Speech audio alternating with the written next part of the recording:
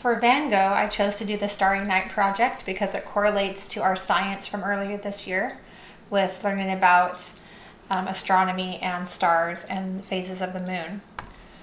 I would prefer to use a blue cardstock paper like this, that's a nice dark blue, because it's much more similar to the background of Van Gogh's Starry Night painting. If you can't get a hold of that, you can also use a black, nice thick paper like black cardstock, anything that can hold up to a lot of paint. Even though the book that we're following uses construction paper, I'm not sure if that would hold up with um, as much paint or we're going to be applying to the paper. And I'll put a link to Amazon where you can buy dark blue cardstock. So every student will have a piece of paper like this. And after you talk about Van Gogh and his style, and talk about how he's a post-impressionist, meaning he came after the Impressionists, we can see how his style um, differs greatly um, in his brushstrokes to the other impressionists that we've looked at.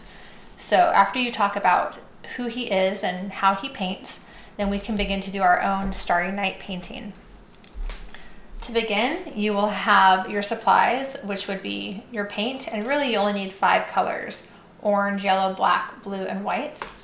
And your cleanup supplies, your paper, and then if you want to, you can have some of these extra items like scissors, paper, and glue to add a cityscape at the bottom. So I'm going to take my yellow and I'm going to add a crescent moon in the corner of my paper. And we'll just have the kids start by adding paint. We don't even need to start with pencil because these shapes are very simple and there's really no way to mess them up. So I'm going to add the moon up in the corner. And if the moon is small or big, doesn't matter. Let's just make sure that the kids have a crescent moon shape going on there. Now they're going to add stars, but before we do the big stars, we're simply going to decide how to place the stars in our scene. So you can put five to six dots throughout the sky in the upper two thirds of the paper. And of course you can think of a constellation that you know of, or you can make up your own constellation of stars, whatever the kids like, or whatever you want to do as a tutor if you want to encourage them to do a constellation that they know or to look at um, pictures of constellations to decide what to do. It's up to you. And these dots are going to be the beginning of our stars, but we're going to be painting stars just like Van Gogh did. And that's um, where we get to really study how he painted and talk about it so that we can mimic him as closely as possible. We're going to be doing linear dabs. So rather than just dots, we want to pull the paint around almost in lines, but dashed lines. So there's some space in between them. When we look at the other Impressionists, they have more dot-like brushstrokes and like they're very, very um, smooth. Van Gogh has a little bit more of like a, a chunky brushstroke to what he does. So you can go around and have the students begin doing these concentric circles of dashed lines all around the stars. In art, there's different principles of design, and using these principles um, helps create really successful pieces of art. And one of the principles of design is to have variety, meaning having things be different throughout the artwork. So right now, all of the stars are all yellow. There's not really a variety of color going on yet. So what we want to do is to think about having some of them be different. And the way that we're going to do that is by adding white, more white to some of the stars. We can also have some stars be much, much bigger. That adds variety of size and variety of color, which makes the whole painting much more interesting. So now that I have yellow everywhere, I can add my variety of color by just taking my paintbrush and dipping it into white. Because the paint on my paper is still wet, as I add white, it's going to actually mix with the yellow and add and actually make its own new color happening around there.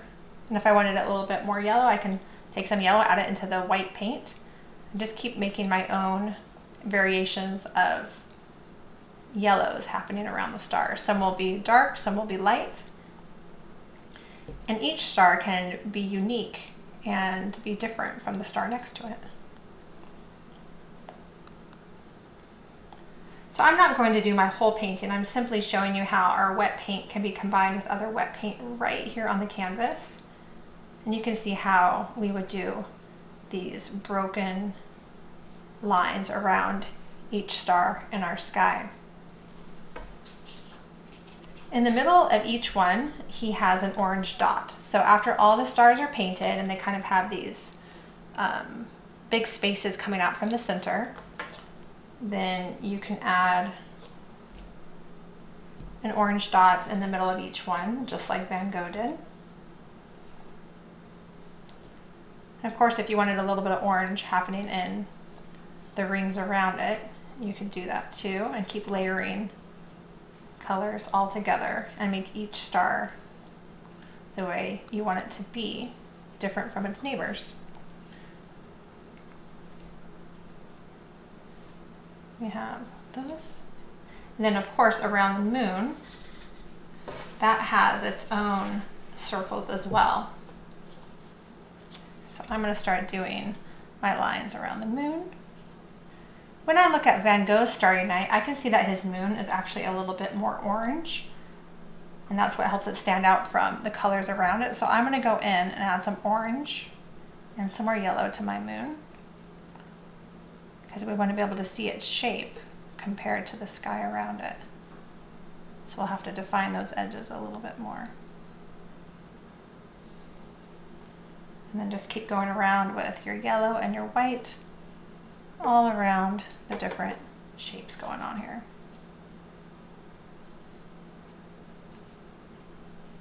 And this is really fun because there's no wrong way to do it. As long as you're doing short jabs. They can be big, they can be small.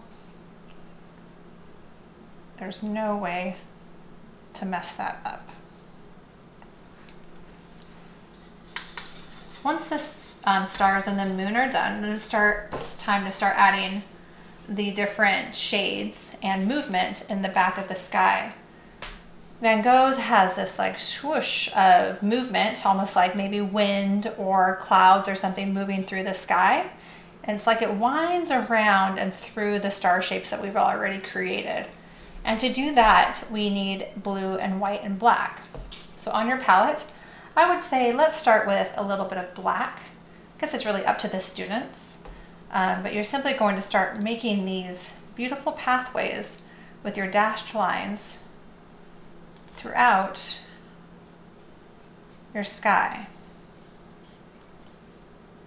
kind of twirling it and making it go around as if the wind is going throughout. If we made the whole thing just black, not a lot of stuff would stand out. So just like with the stars, we want to have some parts of the sky be lighter and some parts of the sky be darker. So that's why we have the white and the blue to help us create some more variety in the tone of the sky. So I can just go into my next color. And as, of course, I add the blue paint onto the wet black paint, I'm even creating another shade of blue. I get to mix the paint right there on my canvas. What students might notice is as they drag their blue paint around and it touches a star, maybe they'll pick up a little bit of yellow paint and they'll notice that something happens. It might turn green. And you'll notice in the, if you look closely at Van Gogh's painting, he has a lot of green in his sky too because he did the same thing. As he painted the wet paint, it combined with the other colors he had already done, and blue and yellow make green. So students would simply continue doing these swirly things with black and blue. And of course, to add some more dimension and variety, let's pull some white into there. My white is now creating a light blue and some gray in the sky. I'm simply making these beautiful pathways around until the whole sky is covered, but in different tones of blues and whites and grays.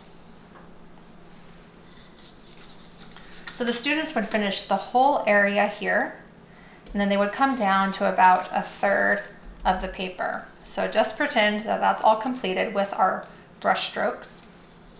Now we get to use blue and black to create some low hills.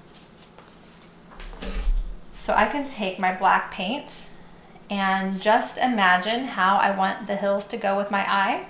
And then I will simply, after I imagine it, I will go ahead and paint over what I just saw in my mind's eye. I'm going to start with black and kind of pull over some little hilltops about a third up from the bottom of my paper.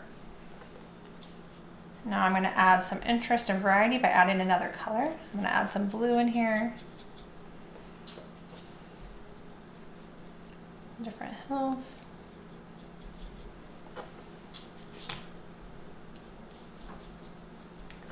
I'll add a little bit of white too to show that the, the sun, or excuse me, the moon is kind of gleaming down and creating some light here on my hillsides. And again, I'm doing linear strokes, not so much round dabs, but more lines, moving lines throughout the paper. A lot of movement going out th on throughout the whole scene. Once the students have the sky and the hills, maybe there's more time, and if there is, they can add a little cityscape to the bottom of their painting. So you could have scraps of all different colors of papers.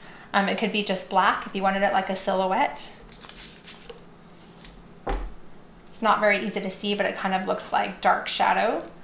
You can also have any colors of paper that you want to add. So I chose just to do yellow, blue, and black.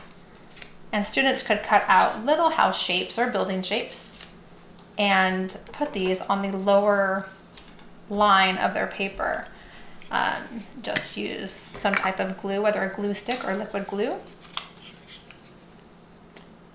Put some glue on your shapes and begin to layer them, just like that. If they're on top of the paint, that's fine. The paint will just help make those papers stick as well. Things look especially pretty and interesting when they're layered. So I could take another shape and lay it on top of a different shape and that way it almost looks like one building's in front of the other and it has some of that three-dimensional aspect to that.